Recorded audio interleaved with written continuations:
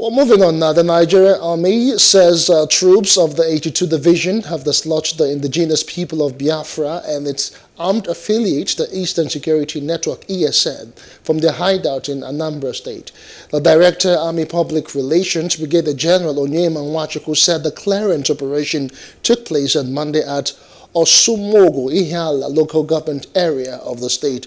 Nwachukwu said the notorious groups had serially launched attacks on the fenceless civilians and security targets from the hideout.